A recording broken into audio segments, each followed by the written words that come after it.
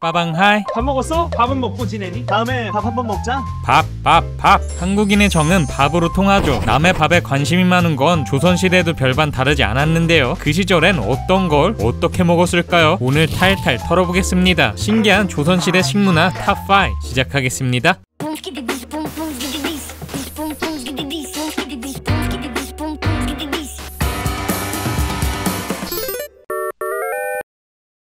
조선시대엔 어떤 과일을 먹었을까요? 제사상 필수템 사과? No, no. 실제 조선시대 제사상에 사과는 존재하지 않았습니다. 지금 우리가 먹는 사과는 1900년대 초에야 도입된 외래종이죠. 사과와 비슷한 능금이 있긴 했지만요. 알이 작고 신맛이 강해 식용으로 먹긴 어려웠다는 실제로 제사상에 올라간 건 밤과 잣 같은 건과였는데요. 얘네가 과일의 역할을 대신했죠. 이렇게 먹을 만한 과일이 별로 없던 조선시대 제주도에 귤이 있긴 했지만 엄청나게 귀해서 진상으로나 올리는 수준이었고 요. 과일이 있다 해도 생산량이 적어서 상류층만 맛보는 정도였죠. 그래도 과일은 못 잃죠. 서민들이 즐겨 먹던 과일 3대장을 소개하겠습니다. 먼저 감. 감은 한민족에게 가장 친숙한 과일입니다. 단감을 떠올린다면 너, 너. 단감도 일본에서 뒤늦게 들어온 외래종이고요. 우리나라 토종감은 모두 떫은 땡감이라는 땡감을 그냥 먹기 힘들었던 우리 조상님들 후숙을 해서 떫은 맛이 사라졌을 때 먹었죠. 땡감, 홍시, 연시, 방건시, 곶감 모든 단계에서 먹을 수 있다는 것. 특히 곶감은 오랫동안 저장할 수 있어서 많은 사랑을 받았습니다. 전래동화에 괜히 곶감 얘기가 많이 나온 게 아니에요. 물, 대추, 설탕이 없던 과거 단맛은 가장 귀한 맛이었습니다. 잘 익은 대추는 그렇게 달 수가 없었죠. 과거에는 값비싼 설탕 대신 대추를 요리 재료로 사용했는데요. 온갖 요리에 들어가서 단맛을 냈습니다. 마지막으로 참외. 지금으로 치면 딸기, 바나나보다 많이 먹던 과일인데요. 제철엔 쌀보다 저렴해서 밥 대신 참외로 배를 채웠죠. 1인당 20개는 기본이었다고. 개구리 참외, 꾀꼬리 참외, 먹통 참외, 배꼽 참외, 수박 참외 등 지금과 다르게 종류도 넘쳐났습니다. 그중 쥐똥 참외는 맛이 없어서 아이들이 장난감으로 갖고 놀았다고 하죠. 아무리 조선시대라도 사과 정도는 흔할 줄 알았는데 의외네요.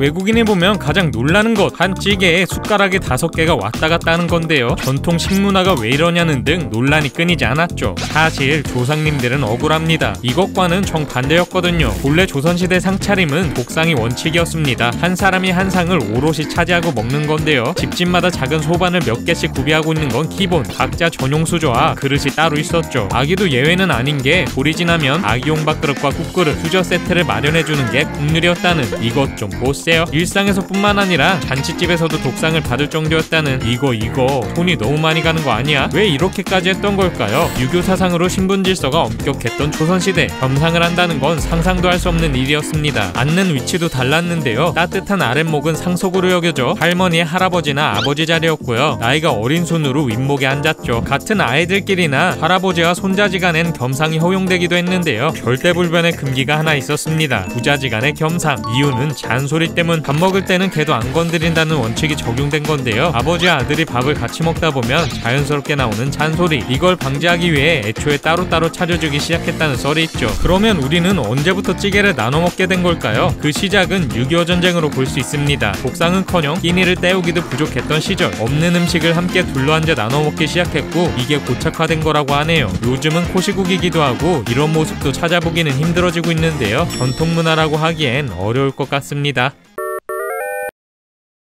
한 해 소주 소비량 1인 평균 52병. 와? 이 주량 하루아침에 이룩한 게 아닙니다. 조선시대 술 문화도 한따까리 했죠. 조선시대는 전통주의 최고 전성기입니다. 지방마다 내노라는 유명한 명주가 있었는데요. 그만큼 술 문화가 크게 발달한 시기이죠. 술도 취할 만큼 마시는 게 부끄러운 일이 아니었다고 합니다. 대표적인 하플은 이 주막, 보통 평범한 민가에 간판을 달고 운영했고요. 장터, 큰 길목, 나루터 등 유동인구가 많은 장소에 위치해 있었는데요. 한간 벽촌에도 주막이 없는 곳이 없었 다고 하죠. 길을 가다 한 잔씩 하며 쉬어가는 느낌이었다고 지금의 카페 생각하면 되겠네요. 주막이 다른 술집과 차별화된 점은 숙박이 가능하다는 점. 식사나 술을 마시면 방은 무료로 내어줬죠. 가장 인기 있던 건 막걸리. 이 막걸리에도 급이 있습니다. 처음 내린 진국은 단골에게 줬고요. 어중이 떠중이나 진상 손님에겐 물을 타서 주기도 했다고. 보통 잔술로 판매했는데 한 잔에 공짜 안주가 한 점씩 제공됐습니다. 공용 목판에서 하나씩 집어가는 방식인데요. 여러 점씩 몰래 훔쳐먹는 진상 손님도 많았다는 하는 이걸 감시하는 알바생도 있었다고 하죠. 술을 마시는 곳은 이외에도 많았습니다. 기생들이 있는 기방은 비용이 엄청나서 아무나 못 갔고요. 서민들이 주로 찾는 곳은 목로 주점이었죠. 좁고 긴 나무로 된 상인 목로에 술잔을 놓는다고 붙여진 이름인데요. 여기도 술 한 잔에 안주 한 점이 제공됩니다. 특징은 서서 마신다는 점, 술 한 잔에 안주 한 점 집어먹고 갈 길 가는 거죠. 받침 술집이라고도 불리는 병술집도 있습니다. 병술이란 문자 그대로 병에 담은 술이란 뜻인데요. 손님이 직접 병을 가지고 가서 술을 담아오는 거죠. 술 받아온다는 표현이 여기서 생겼다고 하네요. 옛날에도 다양한 술집이 있었다니 괜히 우리나라 사람들 주량이 높은 게 아니야.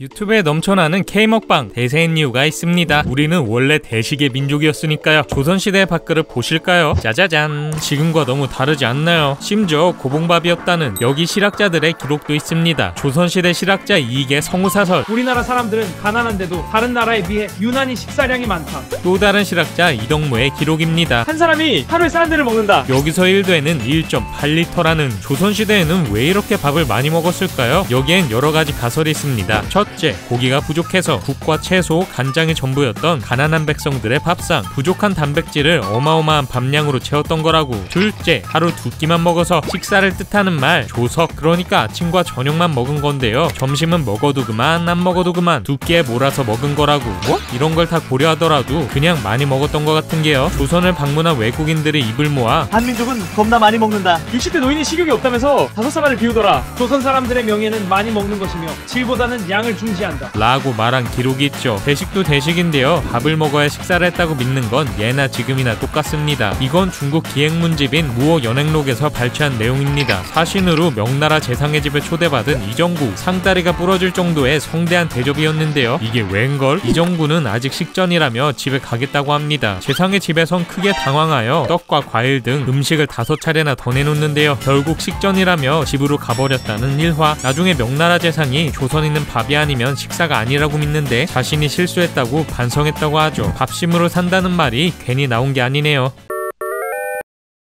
한국인의 soul food 삼겹살 조선시대에도 먹었을까요? 아니요. 대세는 소고기였습니다. 돼지고기 가격이 소고기보다 70% 이상 비쌌다고. 소는 마른 풀만 먹어도 사는데 돼지는 사람이 먹는 곡식을 축냈기 때문인데요. 기관에서나 제사용으로 돼지를 조금 기르는 수준이었죠. 뭐 돼지고기가 있어도 그닥 반가워하지 않았습니다. 명나라 황제가 조선인은 돼지고기를 먹지 않으니 조선 사신에게 소고기를 제공해라. 라는 기록이 있을 정도. 왜 이렇게 소를 좋아했느냐? 맛도 좋고 영양학적으로도 인정받았던 소 잔치 때마다 소를 잡아대서 우금령을 내렸을 정도라고. 그래도 한민족의 소사랑은 막을 수 없었습니다. 전국에서 매일 천마리의 소를 먹어치우고 1년이면 그 수가 40만 마리에 가까웠다고 하죠. 소고기 먹방의 절정은 난로회입니다. 고기를 석쇠에 구워 먹는 모임으로 필수 준비물은 번거지골 이건 번거지 모자처럼 생겼다고 해서 붙은 이름인데요. 가운데가 움푹 들어가고 가장자리는 평평해서 국물 요리와 구이가 동시에 가능한 이템이었다고 화로에 번거지골을 올린 후 가운데 육수를 붓고요. 테두리엔 간장, 파, 마늘로 양념한 고기를 구워 먹는 건데요. 자연스럽게 육즙이 가운데로 흘러들어가 육수의 맛이 깊어지죠. 진짜 먹자랄인 게요. 고기를 다 먹으면 육수에 밥까지 넣어 야무지게 먹었다고. 숯불을 피워놓고 둘러앉아 먹고 마시는 모습 지금과 다를 게 없네요